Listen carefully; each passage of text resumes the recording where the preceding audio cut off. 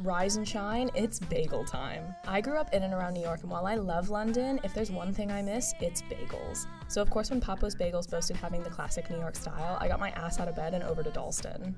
Now, I think the key to a great bagel experience is a warm, fluffy bagel and a heaping of cream cheese, and these guys have it absolutely nailed. They make everything fresh in house, you can literally see them baking as you order. I got my go to order of classic lox, cream cheese, and capers combo on their everything bagel. I was excited to say the least. Look at her, she's beautiful. And the look of love says it all. And the jalapeno cream cheese on this veg combo was absolutely delicious. This bagel just saved me a trip across the Atlantic.